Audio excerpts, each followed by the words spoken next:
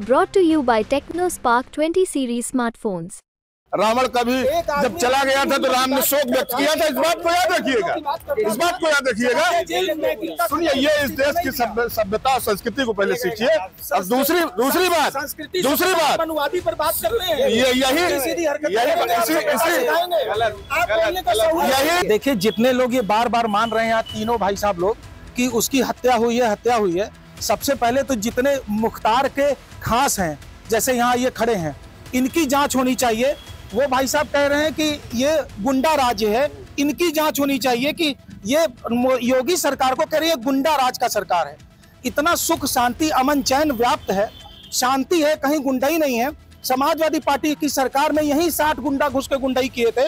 इस वक्त खड़े हम प्रयागराज के उस लोकसभा सीट में, जहाँ 2004 में बाहुबली अतीक अहमद सांसद हुआ करते थे और इसी कॉफ़ी हाउस में वो आकर कॉफ़ी पिया करते थे, राजनीतिक गलियारों की चर्चा किया करते थे, लेकिन अतीक अहमद अब नहीं रहे।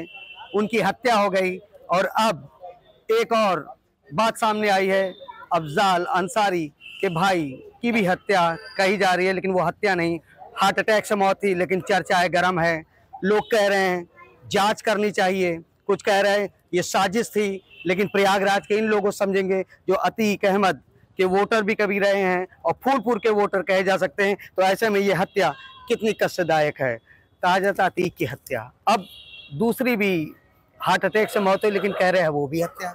भारतीय जनता पार्टी की सरकार में पुलिस कस्टडी में, अखबारों की मौजूदगी में, सरेआम गोली से दो पूर्व विधायक की हत्या की जाती है, सांसद की हत्या की जाती है।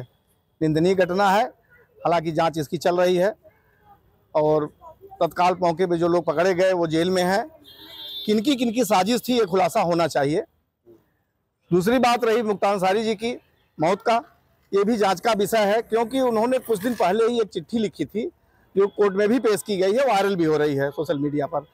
तो आखिर क्या मसला था क्या उनको संदेह था क्या दिक्कतें थी इस पर तो बहस होनी ही चाहिए। होनी चाहिए। बिल्कुल बहस होनी चाहिए। मुख्तार अंसारी साहब जब भी आए कहा जाता जब लास्ट बार आए तो उन्होंने एक शेर व शायरी भी की थी।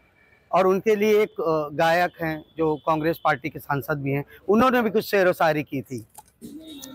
जिन्होंने शेर व शायरी की थी, मुख्तार अंसारी के उसमें, उनको बड़ा अच्छे ढंग से अतीक और अंसारी के कंधे पर चढ़ करके उन्हें कांग्रेस के सिर तक चढ़ गए और राज्यसभा सदस्य बन गए। उन्होंने मुख्तार के उसमें बड़े कसीदे पढ़े थे अतीक के लिए भी पढ़े थे। इन लोगों ने हमेशा अपना पढ़ा था उन्होंने? उन्होंने पढ़ा था कुछ इस टाइप का पूरा मुझे याद नहीं है लेकिन लास्ट का संदेश ये था कि बच्चा बच्चा मुख्तार बनेगा मुख्तार रहेगा कुछ इस टाइप का पढ़ा था उन्होंने। वो एग्जैक्ट मैं अभी देख के बताऊँगा लेकिन इन्होंने बड़ी तारीफ़ करी थी। आप हमें ये बताइए कि अपराधियों के लिए जो शायरी शेरो शायरी कर रहा था उसको कांग्रेस ने राज्यसभा सदस्य दिया समाजवादी पार्टी की हरकतें यही रही ये लोगों की सोच है क्या? और अतीक अहमद की भी और मुख्तार की भी। पाकिस्तानी पकड़ सबको पता है। और इमरान प्रतापगढ़ी की भी पाकिस्तानी पकड़ सबको ज़ाहिर हो रही है धीरे धीरे तो ये जो अपराधी लोग हैं, इनको प्रश्रय कौन दे रहा है? समाजवादी पार्टी दे रही है, कांग्रेस पार्टी दे रही है? और अगर भारतीय जनता पार्टी के कार्यकाल में कुछ ऐसी घटनाएँ दैवीय आपदा के रूप में हो जाए, किसी का हार्ट अटैक हो जाए तो ये घटिया सोच रखने वाले लोग कहेंगे कि वो आपको नहीं लगता ये दुखद घटना है? नहीं, ये मुझे दुखद घटना नहीं लगता। एकदम पूर्ण रूप से मैं इस बारे में स्वतंत्र रूप से कह रहा हूँ कि बड़ी अच्छी घटना है कि उस आदमी की मृत्यु हो गई, जिसके खिलाफ पैंसठ केस है, जिसने लोगों को गोलियों से भून डाला, जिसने अपराधी, अपराध के जगत में सबसे बड़ा नाम कमाया, उसका मर जाना ये बेहतर था हमारे देश के नौजवानों के लिए, लोगों के, लोगों की भविष्य के लिए। आपको नहीं लगता कि बड़े इल्ज़ाम लगा रहे हैं? बड़ा कड़ुआ सा बोल रहे हैं नहीं हम कड़ुआ नहीं बोल रहे जो अपराध करेगा जो अपराधी बनेगा उसकी तो हत्या होगी या तो ऐसा ही मरेगा वो अदालत की ज़रूरत है क्या कह रहे हैं? अदालत की क्या ज़रूरत? अदालत से अगर ये ये जो भाई साहब कह रहे हैं कि बड़ा अच्छा हुआ पहली चीज़ तो मैंने पहले भी कहा कि मानवीय मूल्यों में इसकी कोई जगह नहीं है कि किसी के भी मरने पे शोक नहीं जताया जाता। रावण कभी एक आदमी जब चला गया था तो राम ने शोक व्यक्त किया था। इस बात को याद रखिएगा। इस बात को याद रखिएगा। सुनिए ये इस देश की सभ्यता और संस्कृति को पहले सीखिए। और दूसरी दूसरी बात दूसरी बात। अनुवादी पर बात करते हैं। ये यही यही इसी इसी। का यही यही यही। यही हाल है है कि यही हाल है। भी हो ये हमेशा से भारतीय जनता पार्टी का एक पॉलिटिकल स्टंट रहा है कि जब बात सीरियसली होती हो तो उसको मज़ाक में ले लिया जाए। उस बात को एकदम मज़ाक में ले लिए, नहीं नहीं नहीं, साहब, ऐसा नहीं है।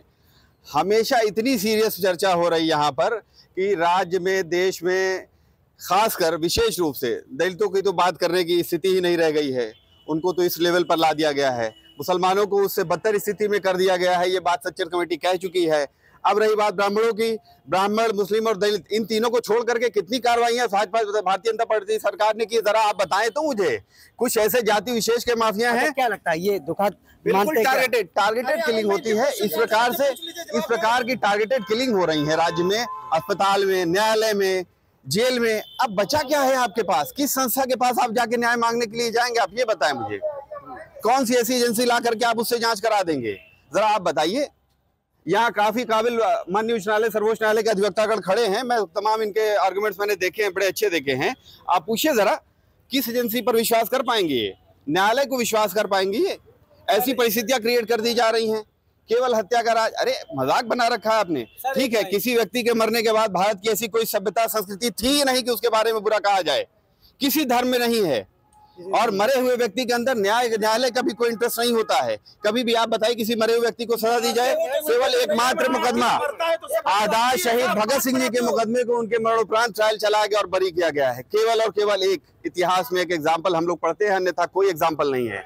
ये इस तरह का कोई इतिहास नहीं रहे कोई भारत की संस्कृति नहीं रही किसी मरे हुए व्यक्ति के खिलाफ इस तरह के आप शब्दों के प्रयोग किए। देखिए एक चीज़ ये है हमारे देश में कॉन्स्टिट्यूशन है अदालतें हैं तो अदालत अपनी कार्रवाई करेगी। लेकिन मुझे लगता है कि भारतीय जनता पार्टी को अदालत पर कोई भरोसा नहीं है, जिसका मन हो रहा है घर गिरा दे रहे हैं, जिसका जो मन आ रहा है कर रहे हैं।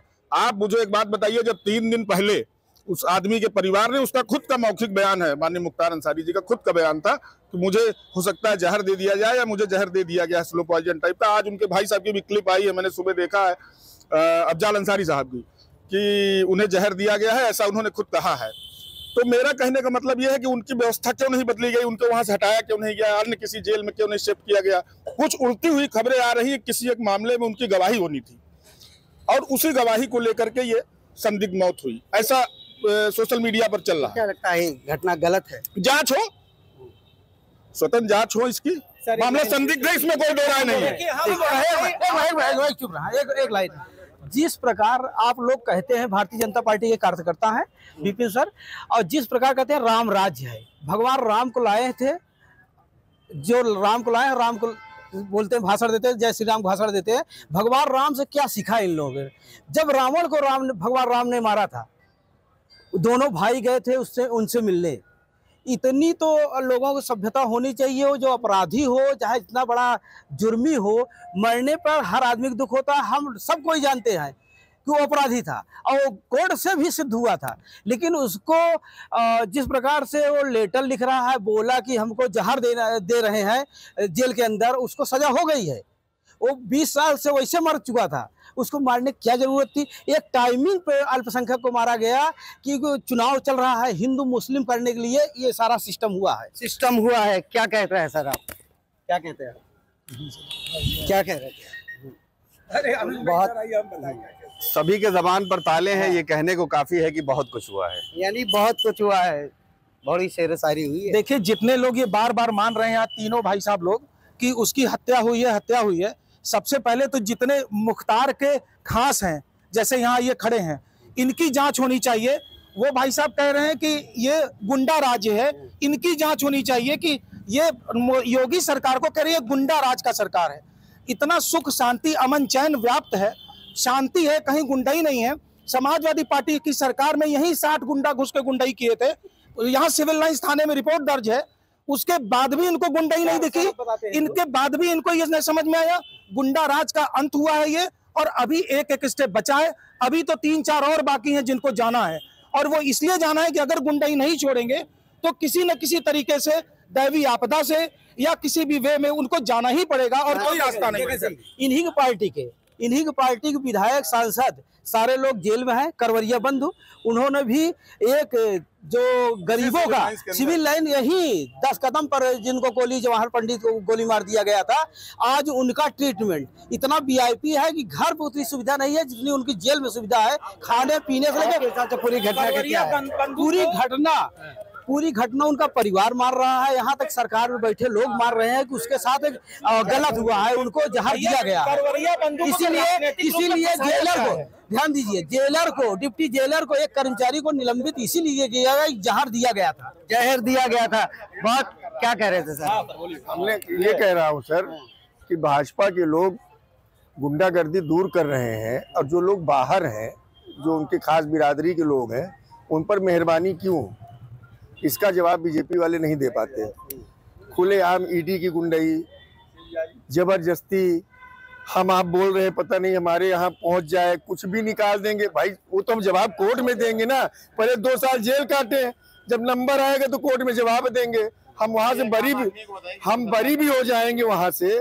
तो हमारा तो दो साल, तीन साल जो चला गया, उसको क्या भाजपा वापस करेगी या ईडी वापस करेगी? अच्छा क्या जो घटना हुई अंसारी मुख्तार अंसारी क्या दुखद है कि क्या कहेंगे उस पर नहीं, देखिए, अगर जेल में अगर किसी तरह से प्रताड़ना करके उन्हें मारा गया तो दुखद भले वो क्रिमिनल हो, लेकिन वो जेल काट रहे थे, सजा काट रहे थे।